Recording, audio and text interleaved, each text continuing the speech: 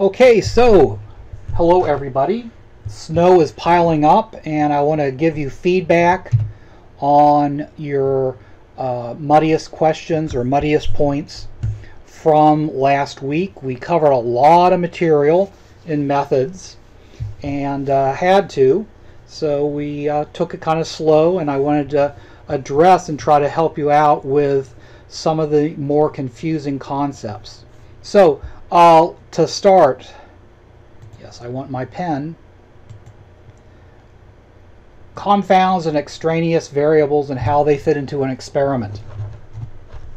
Okay, so let's talk about those. So uh, here's one version of the experiment that uh, I had in the uh, recorded lecture about experimental methods. Uh, the uh, students watched either the control video or the violent uh, cartoon video. And then two raters recorded aggressive acts during 30 minutes of recess. And the same dependent variable was used. And then uh, in watching the students, the uh, you know 15 students for 30 minutes. In the control group, the two observers agreed upon five acts of aggression. In the experimental group, the two raters agreed upon nine acts of aggression. And so this would uh, cause us, these results here, would cause us to say, yes, indeed, the hypothesis is correct. Watching the violent videos would cause more aggression. However, uh, I hope you see that there's a problem here. Uh, this was 10 a.m. and this was 2 p.m. So uh, these two experiments were conducted at different times of the day. Would uh, kindergarten or first grade students respond the same at uh, 10 a.m. versus 2 p.m.? Maybe, maybe not. Uh, there could be a lot of differences. Uh, they may have been hungry here and crabby, and that may have caused them to not want to be as active during their 30 minutes of recess.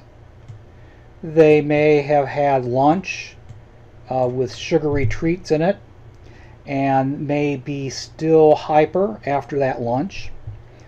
Uh, you know, they could be sleepier here. They could be more awake here.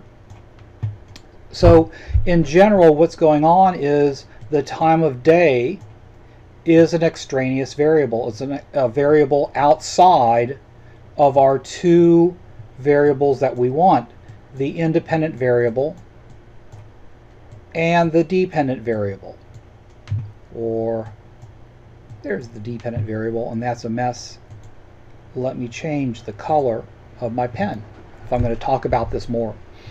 Uh, so what we see here is that there is a variable that's external to the IV and the DV that is a third variable and that is an extraneous variable But also, this extraneous variable co-varies with the level of the independent variable. The subjects that get the violent video always get it at 2. The subjects who get the control video always get it at 10. That's covarying where they go together. And when an extraneous variable covaries with the independent variable, that's a confound variable.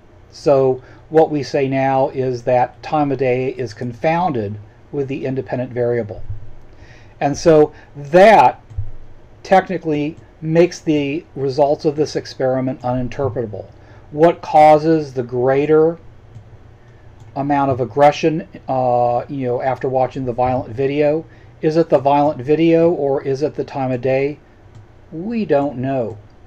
And so doing an experiment just to end up saying we don't know is not something you want to do. Uh, so that's uh, why confound uh, variables are bad. Extraneous variables may or may not be bad. Uh, it depends on the situation. uh, when we get to uh, Psych 330 or 430, I joke around with my students and say, I'm going to spend the entire semester explaining to you why the difference, uh, the difference between when extraneous variables are good and when extraneous variables are bad. It's a complicated uh, topic, but uh, you know, you know, when extraneous variables become confounded, that's when they're bad.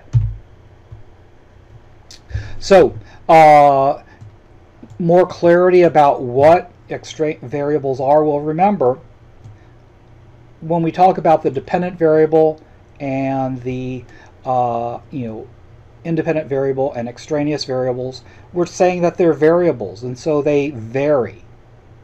And so in the experiment, we design two things to vary uh, the independent variable, and that's varying because its level is manipulated to different levels by the researcher. That is, as a researcher, I choose who goes into one experiment or the other, or one condition or the other, violent versus nonviolent cartoons. And I do that however I wish. In this case, I probably randomly assign subjects uh, to re reap the benefits of that. Uh, the dependent variable is a variable because it varies. It varies based on the behavior of the students. Time of day also varies, but it's not the IV or the DV, so therefore it's an extraneous variable. And if we look at our experiment, what else could be varying? Uh, the weather, the temperature, the children's energy level, and indeed that's probably what's going on. However, due to my manipulation of the independent variable, I'm relatively protected, or the experiment is relatively protected from these other extraneous variables, but they are a concern. And in general, you want to limit the amount of extraneous variables you have in your experiment just to make sure they don't become confounded. But time of day definitely is confounded. Weather, temperature, energy level, we would have to measure those variables to determine if they're confounded with time of day. And so uh, we have the two confounded conditions here. So what we need to do then is we need to develop an experiment where we don't confound them. And so this would be an example of an experiment without that confounding. And it's not confounded because you notice uh, I make the uh, time of day constant. It's the same time of day for all subjects. So it's no longer a variable, so it can't be an extraneous variable. It can't be confounded. It's controlled. And uh, so therefore, in this experiment here in the blue, when we see that there are nine acts of aggression and five acts of aggression in the control group, we can make the conclusion that the type of video watched causes greater uh, you know, aggression of the children. Okay, and that just reviews uh, what I said before about extraneous variables being confounded. And I've already gone over this, so I'm not going to go over this again, but just I wanted to go over basically the whole idea of confounding and how it makes the results uninterpretable. But I've already done that, I think, pretty well, so I'm not going to do it again. Okay, other questions I got, uh, validity versus validity. And this is indeed confusing, and there's no way around this. Uh, in psychology, we use the term validity to refer to how valid an experiment is, and there are several different types of validity internal validity, external validity, ecological validity, and construct validity. And in construct validity, we're talking mainly about how well the construct measures, uh, you know, how well the operational definition measures the construct. This is the same thing in psychometrics or measurement theory as validity or construct validity. Uh, these others are different types of validity. And so in psychometrics, we're mainly talking about reliability and validity. Those are the two important concepts that we're interested in. And uh, a student uh, confused reliability and validity, so just to make sure, Reliability means being able to measure the same thing twice and get the same number. Validity means you want to measure uh, what you intend to measure. Uh, reliability is where you have a lack of error in the experiment or a lack of error in your measurement of a variable. Uh, and construct validity means that the test score measures the construct and just the construct, nothing else. When we say that somebody is reliable, we mean that they're trustworthy, and that's what it means in measurement theory. That is, the score, the number we get, we can trust it uh, because we're going to get the same number again and again. The person's not going to change their mind. They're trustworthy, they're reliable. Uh, valid means truthful, and that's what we mean in construct validity. The uh, number we get is truthful in that it's related to whatever real thing it's being measured. And we measure reliability by doing a test retest reliability, split halves, multiple forms. These are all methodological ways of measuring reliability. In test retest, what we do is we, as the name implies, we give somebody the test. We wait an appropriate amount of time, that depends on the test. We give them the test again, and then we correlate the scores of the two groups together. So I'll give 30 students a test I want to, uh, you know, determine the reliability on.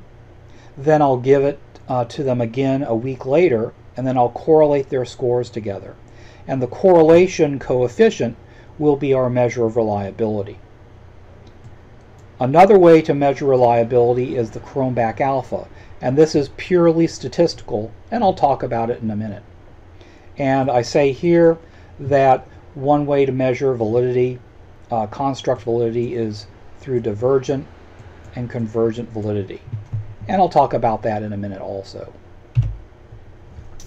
Okay, so a lot or some of the confusions that students have come from the fact about construct validity, come from the fact that the topic is controversial. Ooh, my mouse ran into a cat whisker on the mouse pad. Uh, so, uh, you know, you talk to different psychologists, you'll get different answers. Uh, so that is one problem with talking about construct validity. Uh, so what I want to do is just focus on the type of construct validity I think is the most important and easiest to understand. And that's uh, what we get through the multi-trait approach. Now, I realize I could really just talk about divergent and convergent validity without talking about the multi-trait, multi-method approach, and that just probably confuses you more. So maybe just forget about the MTMM approach and just think about these two different types of uh, you know uh, validity, divergent and convergent. Divergent validity is based on the idea that things that measure different things should not agree. Uh, so if I have a, a test that measures uh, you know gender role and a test that measures lifestyle uh, enjoyment, those two tests measure different concepts. So the scores you get from them should be very different. Uh, that is, they should be no correlation, it should be zero. However, tests that measure similar things, so let's say that I have a test that measures uh, gender and another test that measures gender role. They measure similar things, so we should see a correlation between scores on those two tests. Not a perfect correlation, but we should see a stronger correlation than divergent. And so we can talk about things such as need for cognition. This is a scale that measures your need for cognition. That is how much you want to or need to think about things. Some people don't really need to think about things, they just act and experience.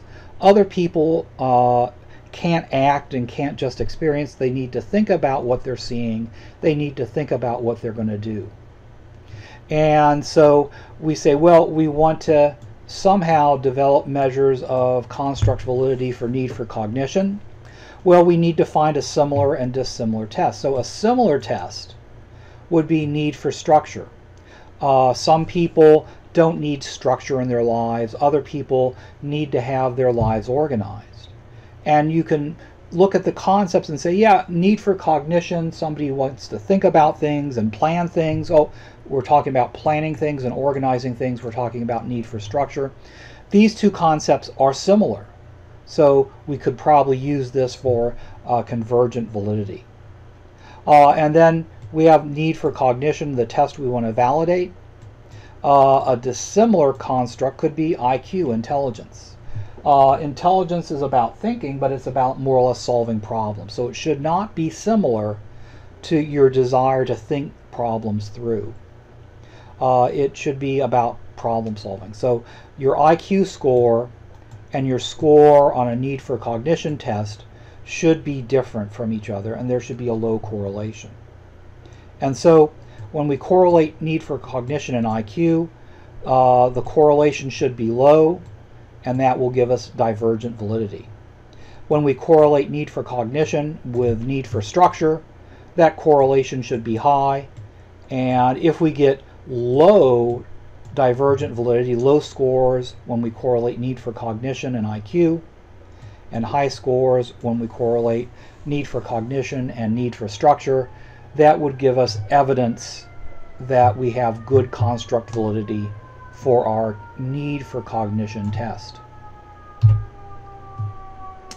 Uh, the most muddiest concept is content, criterion, and construct validity.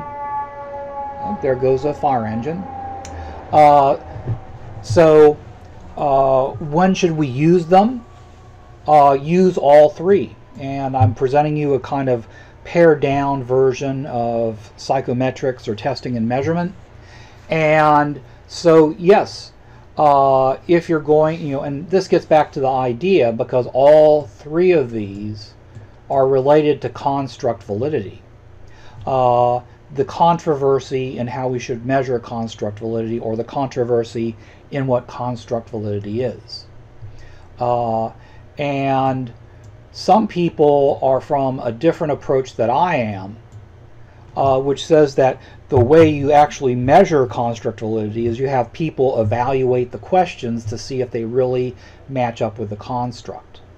And that's okay, but I don't think it's really that important or useful. Uh, but you know, if you have a test that, for example, has good content validity, that is, experts look at the items and say, oh, these items definitely relate to need for cognition. And then you look at criterion validity, uh, where you give people the need for cognition test, and then you uh, observe a behavior that should be related to the construct need for cognition, and those two should uh, correlate. The uh, you know their behavioral scores on how well they want to have th- they want to think things through first, versus their score on the need for cognition test. Those should correlate highly, and if they do, and then also the divergent and convergent validity. The divergent is low and the convergent validity is high. Uh, when you correlate need for cognition to different measures, then that would make me very, very confident that my need for cognition scale is very, uh, you know, valid in terms of construct validity. One of the least clear concepts uh, is how reliability would work in terms of experiments. Uh, okay, well, let's do an example. So an experiment that I uh, did a couple years ago was I was looking at fandoms, that is, people who are fans of different things. Uh, and usually we're talking about media. And I was looking at the Big Lebowski fans. This is a strong fandom that has been going on for, you know, 20 some years.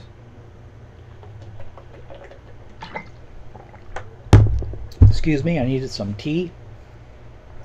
And I developed a hypothesis that uh, the fandom uh, attracts people who are like the characters from the media. And so the uh, Big Lebowski fandom is attracting people who are like the big, uh, who are like the dude. Uh, that is, the dude does not really trust government. That's really one defining thing about the dude. And so uh, I developed the hypothesis that uh, you know the more closer you're psychologically involved with the fandom, the more you distrust the government. So what I'm saying is, uh, you know, clo- you know, uh, possibly distrust of the government will cause people to flock to this fandom. And so I'll ask you, what are the two operational definitions here? That is, what are the two constructs that we need to measure, and how should I go about measuring them? Stop the uh, video and think about that, and then restart it. So the two constructs and the two operational definitions we're talking about is closeness to the fandom, that is psychological closeness to uh, this fandom, and distrust in the government. And so what I needed to do was find a measure of how psychologically close somebody is to a fandom, and I had to find a measure of how much people distrust the government. Uh, and first off, could not, of course, find a measure of how psychologically close somebody was to the Big Lebowski fandom. It hasn't been designed yet. And the uh, measures that exist that measure distrust in the government really didn't do a good job of getting at just this general distrust. So what I had to do was I had to create two new tests to measure both of these things before I could get the numbers from these tests and uh, evaluate my hypothesis. So here's a poster uh, that I presented a couple years ago uh, about uh, the uh, psycho uh, psychological sense of community for the Big Lebowski fans. And here are the items that uh, I put on the test. And this is the pencil and paper test or the online test of uh, how psychologically close you are, uh, you know, how psychologically important being a Big Lebowski fan is uh, to you. And so these are the items on it. I think Big Lebowski fandom is a good place for me to belong. I feel at home in the Big Lebowski fandom. In general, being a part of the Big Lebowski fandom is important to my self image. Uh, I don't feel a sense of being connected with fellow Big Lebowski fans. Uh, that's negatively related. So the uh, it's a negative correlation. Uh, I have a lot in common with fellow fans.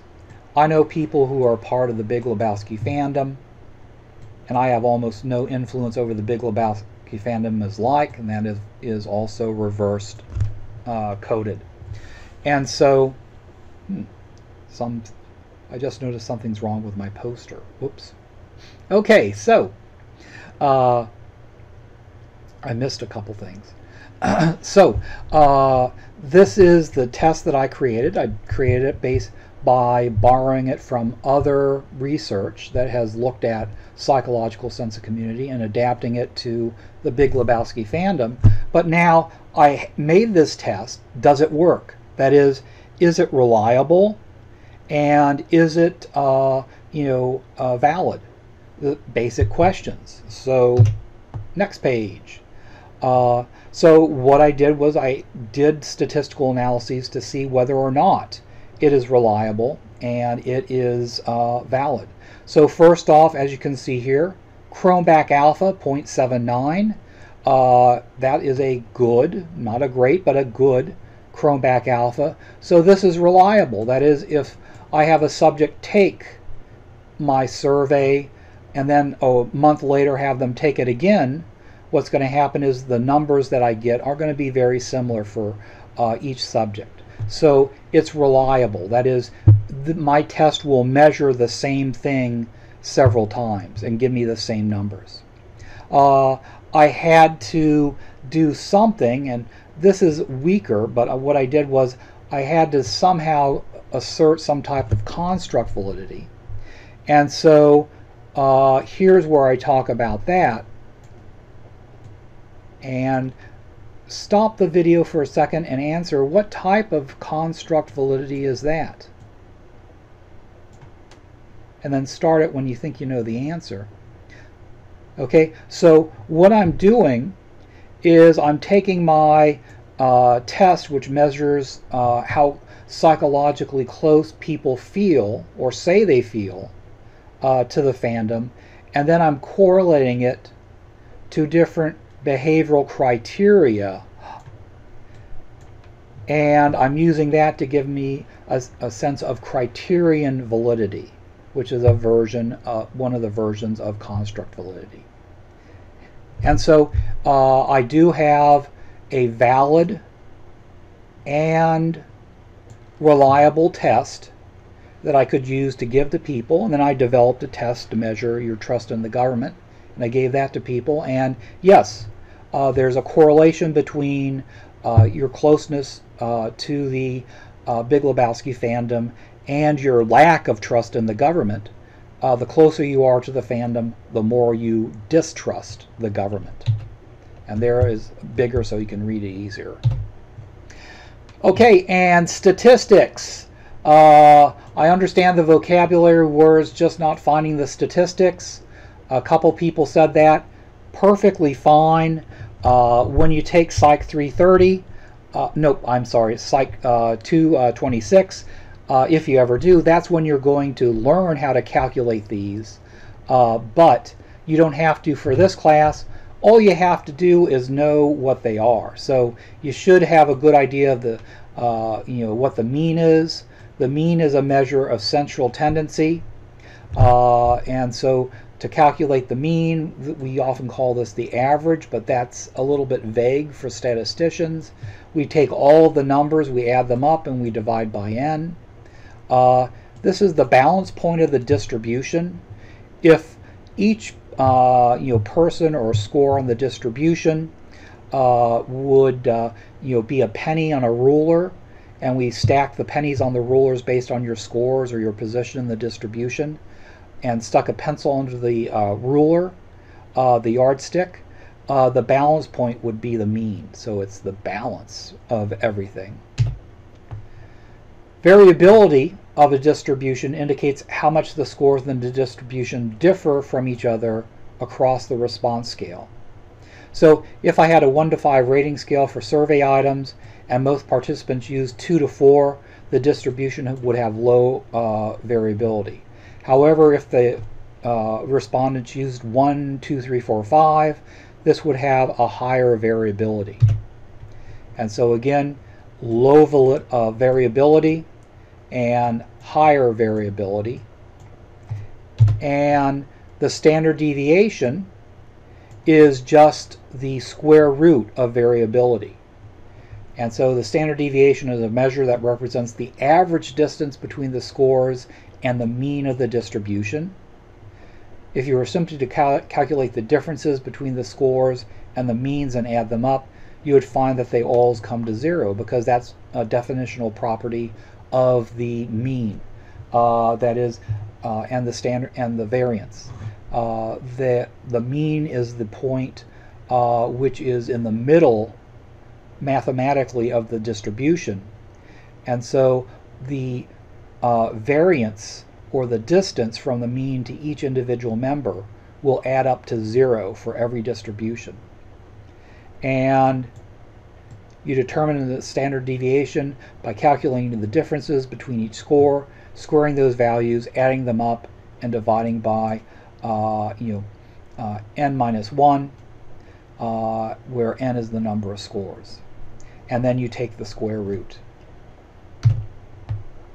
So again, variance is simply the standard devi uh, deviation squared.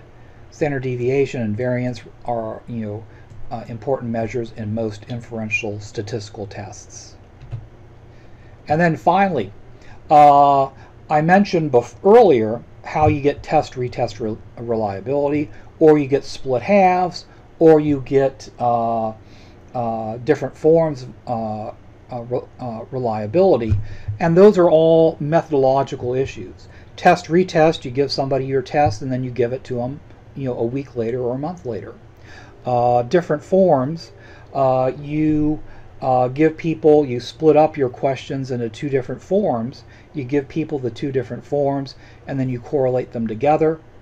Uh, split halves, you don't even give them different forms. You just cut the test in half and say, I'm going to treat the first 10 questions as a questionnaire, and I'm going to treat the last 10 questions as the next 10 questions, or the last 10 as a questionnaire, and then you correlate the two together. That's all methodological. Uh, however, Cronbach's alpha is just statistical. You give people the test once, and from that one, uh, you know, uh, administration of the test, you can statistically uh, get something that is very similar to test retest reliability. And here's the formula you use.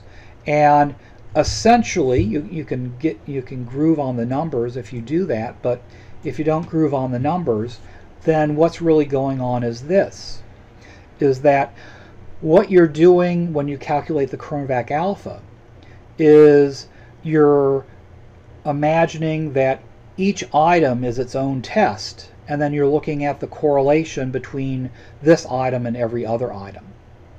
Uh, and you're doing some you know mathematical things to make it work, but that's the concept of what you're doing.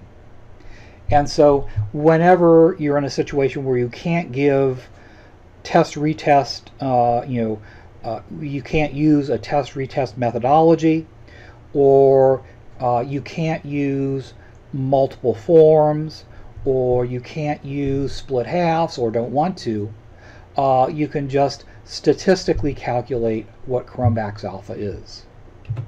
And that's my answers to your questions.